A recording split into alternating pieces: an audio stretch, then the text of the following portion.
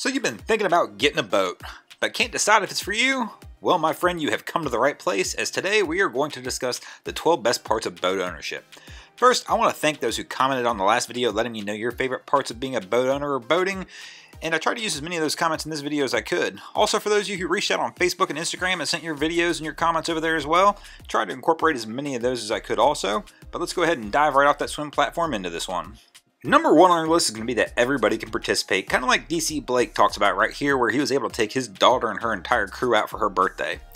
When I say everybody can participate, unlike most motorsport hobbies, where a vehicle can only carry one to four people, boats in large can usually accommodate a lot more than that. For example, my everyday boat has a rated capacity of 12 people, which means I can bring plenty of family, friends, and coworkers along. Well, maybe we'll skip the coworkers because the last thing I want to do is talk about work when I'm out in the water. Also, there's no real age restrictions to participate, no special abilities or physical skills that are needed. Basically, if you can sit up safely in a seat, you are likely to be able to enjoy this hobby. Boating can also be a great transitional hobby for these reasons. In other words, if you've got a growing family, maybe that Saturday where you used to go spend a track day out on the motorcycle, all of a sudden you can spend that day with your entire crew out on the water enjoying themselves. And number two on our list is going to be, well, that it's relaxing. This can mean a lot of things to a lot of different people. It can mean anything from a quiet time out on the lake when there's nobody out there just enjoying it by yourself, literally to hating all the prep work that goes into it, every single part of that, but once you actually get yourself and your crew out there in the water, all that just melts away and you really do enjoy your time. Most boaters will use this time to disconnect, they'll turn off phones, or just choose not to answer them, and likely just relax and enjoy the serene environment. Some will enjoy spending that relaxing time out there fishing with their family and their crew. Sailors even get to take this one a little bit of step further, that's right. Those lucky bastards get to go out there, set an autopilot, throw some sails up, turn the engine off, and relax and enjoy this in complete silence, just gliding along the water. Sometimes I really am jealous of you guys. Others will choose to go out there and find their favorite spot on the water, whether it be a sandbar or an island, they're going to head out there and toss the anchor and let everybody unwind. This is a popular thing to do on the water as it adds a social interaction feature to it, but yet still keeps it in that selected environment that can only be accessed by a watercraft. And number three on the list, well that's going to be bikinis. This should be no surprise it's on this list, as this is probably a favorite of many boaters. This is one of the things that makes this one of the best hobbies overall. I mean, somebody's got to let me know, what other motorsports are there out there, or hobbies are out there where it is completely acceptable and completely normal for women to walk around dressed like this? It is kind of liberating though, when you really think about it, for all of us to be able to walk around half dressed the entire time we're out there spending hours together, just to be out there hanging out, God bless boating. Number four on our list, well that's going to be water sports, kind of like underscore DS underscore says here, the beautiful weather, water sports, wake surfing, evening cruises, lots of people get involved in boating just for these reasons. What other hobby can you have where you can go out, and invite your boss out on the water, and do this to him and have him thank you for it? Some will choose to spend this time out there with family and friends, taking turns, taking it easy, just carving up the wave and relaxing. Some going to take it a little bit further. They'll take it to some high flying extremes.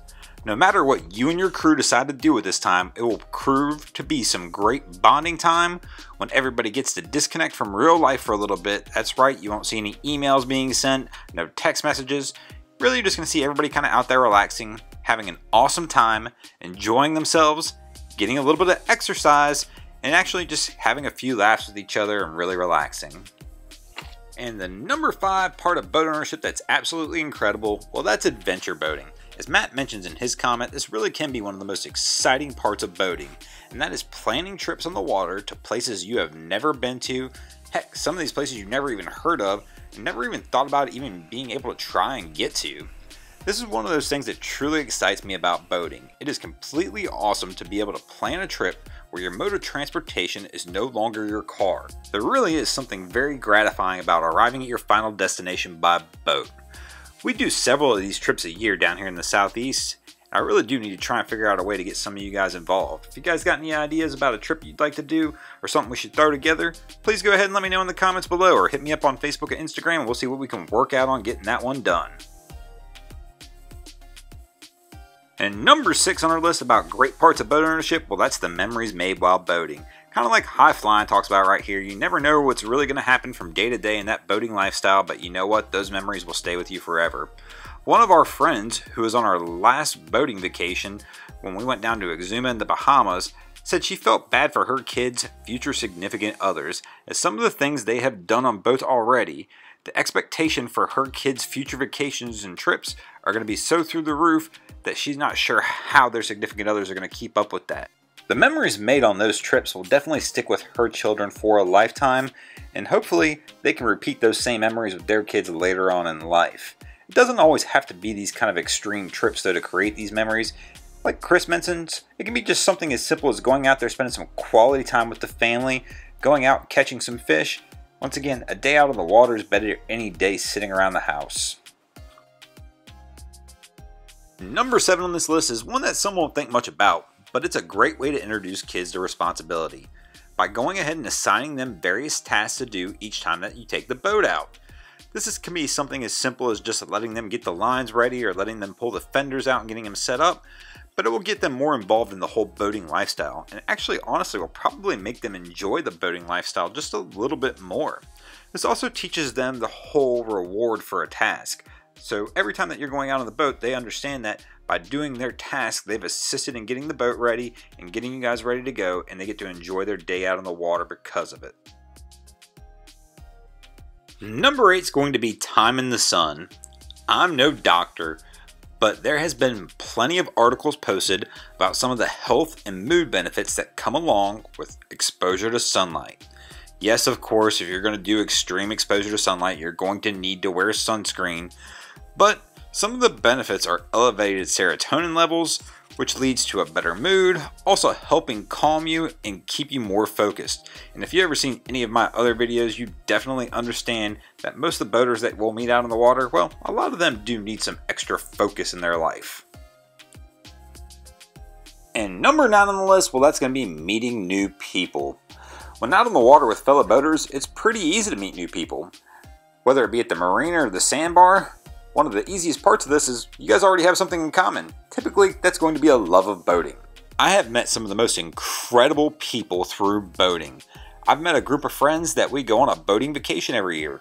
We head down to the Bahamas, take the boats, just our group, and you know what? We would have never met if it wasn't from boating. We all live in different parts of the country, we come from different lifestyles and different paths of life, and it would be a shame that we would have never met, but without boating, we would definitely not be together.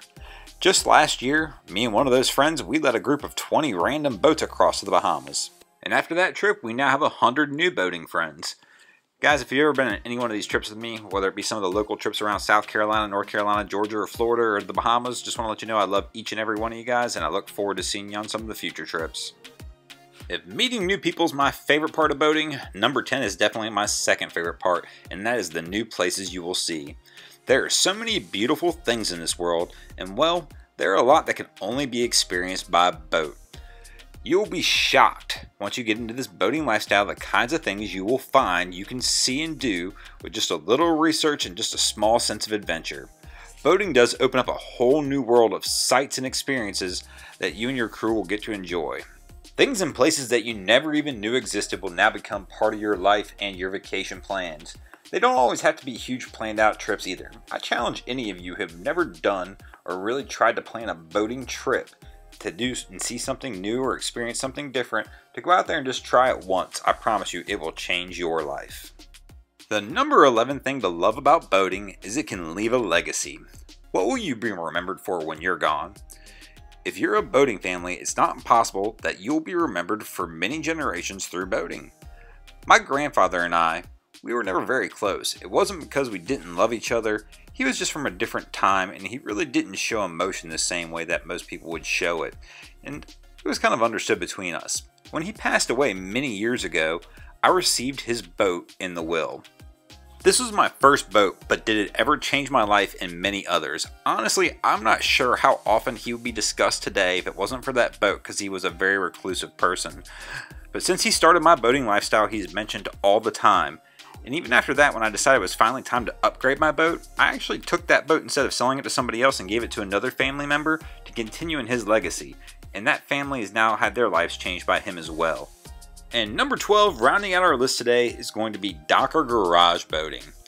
This could be spending a little bit of time working on your boat or cleaning it. It can be hanging out at the dock or enjoying some nice family time down at the marina, or maybe just going into your garage on that cold January morning, taking the cover off the boat, turning the radio on, and relaxing. All of those, even though they might not sound that great, can actually be just as relaxing as any wonderful day on the water. Thanks for hanging around to the end of the video, guys. If you enjoyed it, please go ahead and give it a thumbs up. If you think it'll help somebody else in your life who's looking at getting a boat, go ahead and share it. And you know what? Why not? If you hung out this long, go ahead and subscribe and hang out with us some more. I appreciate it, guys. Have a great day.